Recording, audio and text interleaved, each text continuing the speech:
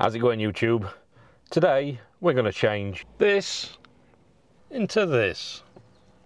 Right, we all know on modern cars they've all got these nice radio systems, they've all got the sat nav, they've all got Apple CarPlay, uh, Android Auto, all that sort of thing. They're quite nice, aren't they? How I see it, there's three types of car stereos. You've got the old cars, they've got the single DIN, the double DIN radios. We've changed a few of those already. Then you've got the new cars that's got the nice radios in. They've always got the CarPlay and everything. And then you've got the kind of like the middle ones that are about 2010 to 2015 sort of age, probably a bit earlier on some of them. And they've got the integrated radios like this. This is a 2010 Fiesta. As you can see, it's, uh, it's got the integrated radio. I've got a little phone holder there that I use for the sat nav. It's got hands-free and all that sort of stuff. But to change this radio out, it's not easy, is it? So I've teamed up with Seicane. They provide radios that fit these sort of things.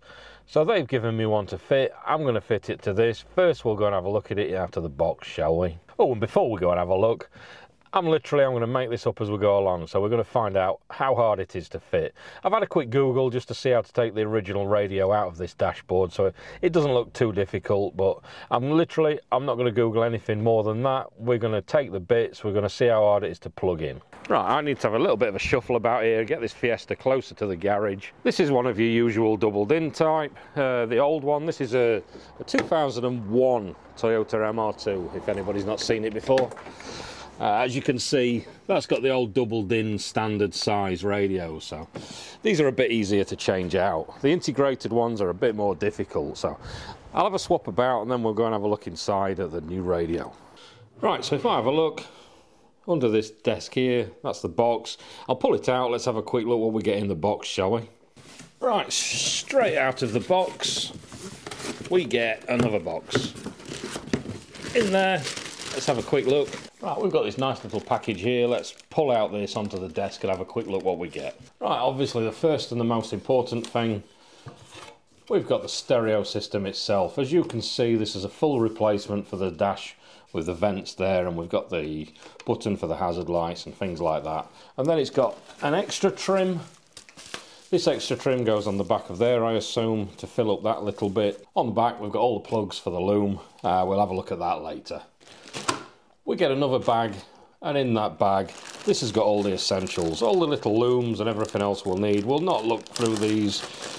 Uh, these are literally everything we need GPS aerial and to plug this in to the standard system. There's a link on their website here. If we look down uh, somewhere down here there is a wiring diagram at the back. Um, I'll use this off my phone and we'll figure out how to plug it in as we go along so there's not much else to say on the bench. Let's get out to the car and get the original stock radio out and then we can start fitting this and see how we can get it to go. Right, first thing you want to do is get a cheap set of these trim tools. These are off Amazon, I think. I'll stick a link below. These are useful for everything, so you're not scratching your dashboard when you're taking things to pieces. So according to Google, this bit here, we can get something just under there and prise it up and, and that should just unclip. Let's have a play and see if we can get it to unclip, shall we?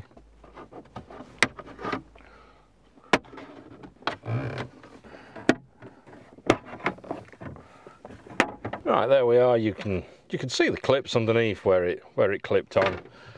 So that's that out now. Uh, just down here, there's some screws. These look like little Torx bits, so I'll get a Torx bit so I can unscrew these two there. And the same here over the back of this clock, there's some two little Torx bits here as well. So I'll take those out as well. Right, there we are, T28 Torx bit. Let's get those out.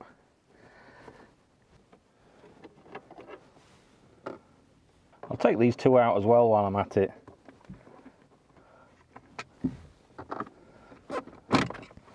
Right, there you are. That's just got one plug in the back. I'll leave that there for now. Right, that's all that out. Next job is just down here.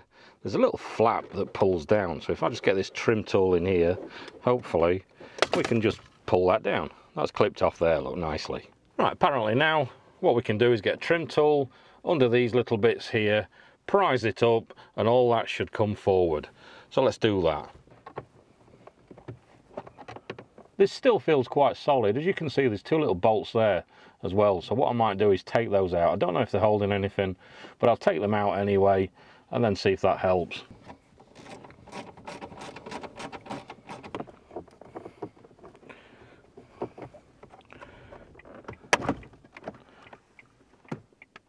Right, that's that clipped out. So we've just got one plug in here. So what I'll do is I'll, I'll unclip this now.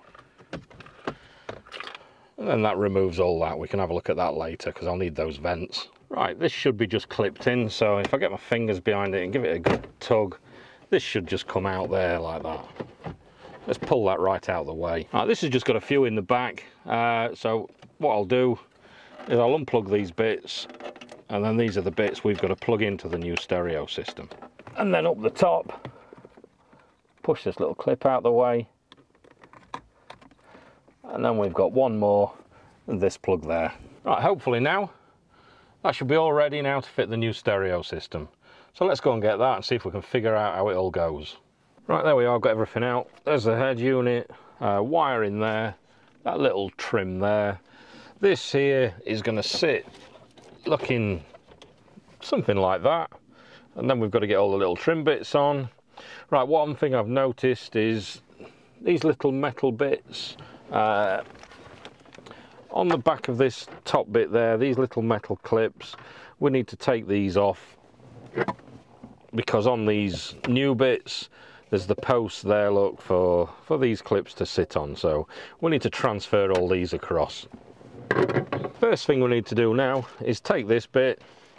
Uh, we've got some little Torx bits in the back of there to take these vents out and transfer those onto the back of this one there they they'll just go on there and you can see the little screw points there so I'm going to get those screwed on now get those transferred across get the little metal clips that I need transferring across to wherever done and then get Wilkin start getting ready and have a look at this bag of wires here to see where everything plugs in that's all those transferred across. I've transferred across the little clips as well, the same on that bit. So what I'm going to do is I'm going to empty out this bag of wiring here. I'm not going to look at the instructions. I'm going to take these wires here, take the wires, uh, all the plugs I can find that I unplugged earlier, and just try and do it without any instructions, just to see how difficult it is to try and figure out how to wire this thing up. So let's go for it. First I'm going to try and find the bits that plug into these bits here. So I'm going to search through all these looms here, find the bits that plug into there, and then kind of work backwards to the radio until I've got no more plugs left. Right, came across a little issue so I had to stop for a while. Right, so what's happened is uh, somehow sent me the wrong looms. So I contacted them and they sent me the right looms what they've done here is the main power looms this is this is where we got to uh, these two there, they plug into the back of the radio system and then these looms here need to plug into those plugs and then plug into the new stereo. Uh, these are a different type of plug. Uh, looking at this CAN bus decoder, uh, on the code of it, it says uh, 13 to 14 Fiesta, so I'm assuming all this is for a, a newer model. But I got in touch with Seicane, they got straight back to me, their technical support um, asked me a few questions. I sent them a few photos and they realised they'd sent me the wrong loom kit. So they sent the right ones across. I got those straight across. Uh, there's the new CAN bus decoder. As you can see, this one, this one says FOR, I'm assuming it's Ford, uh, 9 to 12, so uh, 2009 to 2012. So this should plug in to the back, and this one should plug in uh, to those two plugs there. So that's what I'm going to do now. This other bag, this is for all the GPS aerials and all that sort of stuff. That stays the same. It's just the power. So I'm going to go back to the car now and we'll carry on where we left off. I'll see you back in the car. Actually, that one doesn't belong there. That's uh, part of the radio, so I need that one. So this is just the power ones. These are the ones that were wrong. Those ones, and these are the ones that were right. Uh, that's for audio inputs and cameras and things like that later see you back in the car. Right, here we are, back at the car. I've got all that stripped out. I've fitted that little top bit ready. Uh, I've got the looms there, the stereos down there. I've got the vents fitted again. So let's get this plugged in and see if we can get it to work. Right, as you can see, this one's for that display. These ones were plugged into the back of the original stereo unit. Uh, this one plugged into this control panel here, and then we've got the one for the antenna there. So what I'll do first is I'll take this power loom. What we've got is this, this is the power loom from the new stereo. Uh, this has got the CAN bus decoder plugged into it. So let's plug this in to wherever it fits into. So that plugs in there. I've got another one, this look, looks like this. So let's plug that one in. That's plugged into the display. I'm going to keep everything coming out the top because of the angle that that sits in. It looks like everything plugs in like here, this sort of height, and then stuffs back in. So if I stuff everything back in there, I've got this one to go in the back of the radio, this one to go in the back of the radio. Uh, next I've got this uh, aux in plug this one plugs into here with the look of it. I'm assuming um, I've got an auxiliary input further down near the handbrake. So I'm assuming this is into the back of there. I never use it anyway, but we can we can get it ready. So if I get this loom with all the aux inputs, uh, I've got aux in left, aux in right. I'll plug those in there, those in there, and then we've got another loom ready to go in the back of the stereo. This one's got all the inputs for the reversing cameras and the the TV out and all that sort of stuff. You know, so if you've got headrest TVs and all that sort of things, subwoofer output. Uh, I'm not using any of that at all. So literally all I need is that aux in and so I've got a power there, power there, one there. Let's plug these into the back of the stereo see if we can get it to power up. Right, if we look here, the back of the stereo, we've got the main power input there, and then these are the auxiliary ins and outs for everything else. Uh, down here, I've got the loom plugged in ready. We'll plug that in now, actually. Uh, this one is for the buttons at the front. As you can see, we've got the lock, and I've got the uh, hazard lights there. So if I get these now, let me see if I can move this camera around a bit better angle. Right, so if I get this power, we'll plug this power in here. Like so. Uh, these should only fit into one place really. This one's got four pins, so it looks like it goes in there. Uh, this has got a load of pins so I'm assuming that one goes in the top. Oh, one more, because this has got the Wi-Fi antennas, so I can connect it to my Wi-Fi at home and uh, make sure we've got internet and everything else. So we'll put that in for the antennas. Uh, there's another, that's for the camera in, look. Uh, we've not got a camera on this, so we'll leave it as it is. So if I plug that in like that, uh, let's see if it powers up. Right, ignition on. Android, we've got something.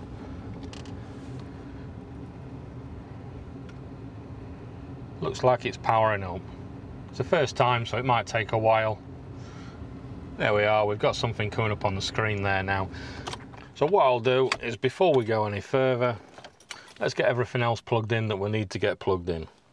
I'm assuming these are for, you see there, look, we've got a little SIM you can put a SIM card in there and make this so it's it's always a phone regardless of, of your own phone. In here I've got some 4G antennas, there's two of those to fit.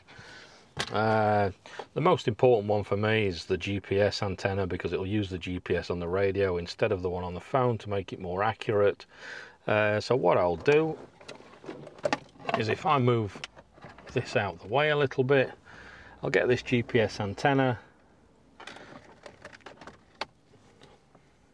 and we'll stick it up behind the dash.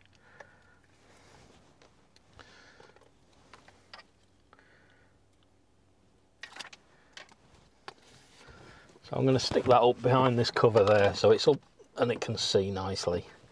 Right, so that can sit there.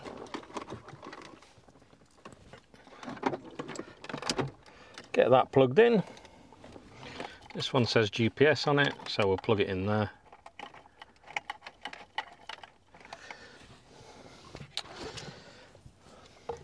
Plug these in, but I'll never need them. So I'll not bother too much about what I'm going to do with them. It's just if they're plugged in, then I don't lose them, do I? So I'll literally, I'll plug both of those in and I'll just throw them behind there. I won't stick them to anything. Thing we do need is this little antenna. So if I get the original antenna, plug that converter onto it, plug this into the antenna slot. We've got an antenna there ready.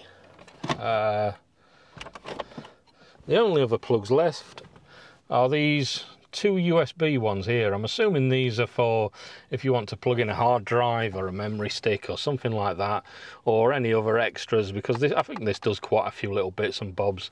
What I might do is plug one in and I might run the wire out to the uh, to the glove box. So what I'll do is I'll plug that in, I'll run it back. Once we've done that, uh, just down here, you see these clips we've got.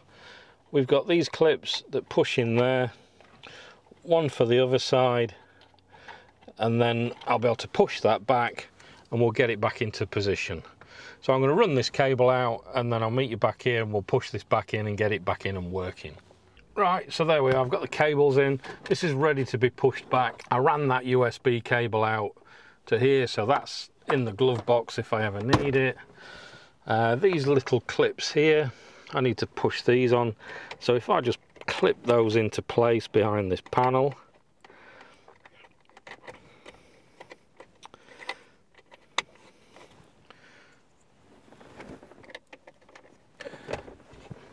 then in theory we should be able to push this back now and get it all to push into place.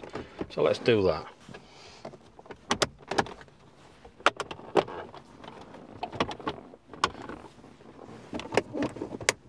Right, that's clipped back in. Just need to put this little clip on under there. Then I can clip this little door back in. There we are. What I'll do is I'll have a little play with it. And then I'll come back, I'll show you how to use it. Right, there we are. I've got it all set up. Let's have a quick look around it, shall we? Right, if we go back to the home screen, this is what you get welcomed with. This is the first screen that comes on. As you can see at the bottom, uh, it's tied in to the heating controls.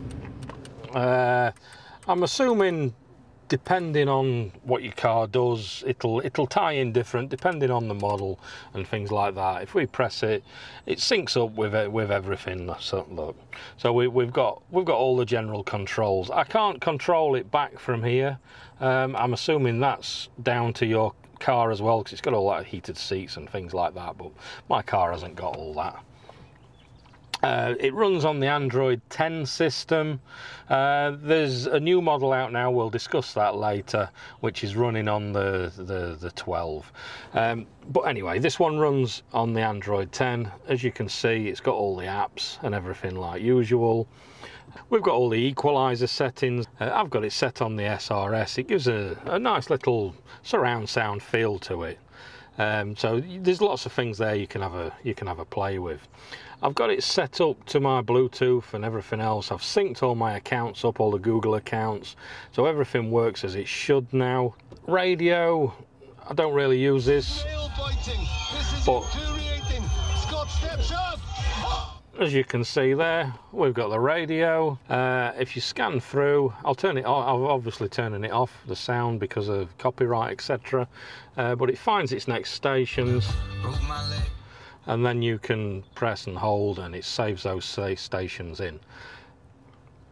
If we go here we can cancel the apps and everything else like usual. When it first starts up it starts up with this screen which I'm assuming if you've got cameras and everything else plugged in it'll pull up all that sort of stuff because when I put the car in reverse it comes up straight with that screen. So I'm assuming that's got a, a camera view there of the rear view when I'm in reverse, but I've not got a camera plugged in. I might plug one in one day, but to be honest, I hate this car, so I probably won't. Uh, you've got your navigation and everything else. If you go through your settings, uh, these are the settings for this stereo. So this device port, if you click on there, you can pick each one of those little plugs on the back and it tells you what all the pins are. System information there. Uh, you've got your Android settings. That takes you into the Android setup menu. Volume settings, uh, for when you're doing your hands-free calling, etc. And then you can you you can set up other other other menus. Obviously, we've got steering wheel learn. Uh, this is automatically set up to mine, so if I press my volume up and down on the steering wheel, you can see the volume going up and down there on the stereo system itself. But for me personally, I don't use any of this because I use Apple CarPlay. I'm on an Apple iPhone. Uh, if we go across the end, it's got Z-Link there. This will remember this once you've started it. So if you start this and you turn off the stereo system like that, when you turn it back on, it'll automatically log back in. So this is your typical uh, screen for your, your CarPlay, the same as any other. You can press this and hide this top menu if you want or you can just leave it like this and go through to, to your usual apps and everything else as per normal CarPlay which is exactly how I use it in all my cars.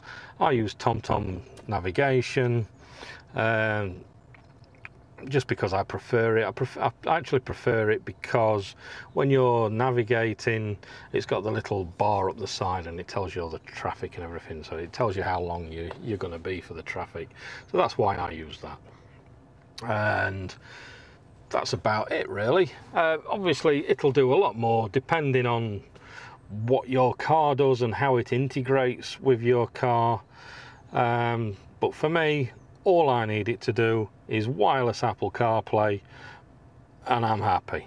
I can what I because because then just like normal what I can do is I've got my navigation, I've got my music, I've got my hands-free calling. I don't need anything else. So for me, that's fine. Right, since me being given this stereo unit. There's some new models out now that sit more up on the dash with like a little curved screen and it, it runs on uh, Android 12 I think it is so I can't com comment on them. This particular one for me I've used it for a couple of days now and it's it's it's, it's been okay. It does what I need it to do. It's not perfect. It's sometimes it's a little bit janky but uh, it, it's it's working it's working fine for what I need it to do. I can't comment on the new ones, obviously. I'm assuming they're a faster processor, everything else, so they, they should be better than this one. But for this one, it's good enough for what I need it to be. I'll stick the links down below to uh, where these come from, so you can have a look. I can't stick the link down to this exact one because now it's been replaced with the newer uh, curved screen one. Um, but you can have a look around the website and see what you think. If I can find any discount codes, I'm sure I had some. I'll stick those in the description as well. So I hope you enjoyed this video. Subscribe if you, you want to see more. Um, it's a bit varied between my car stereos, the, my MR2, my camper and everything else. So subscribe, like the video if you liked it, and I'll catch you guys in another video. Cheers.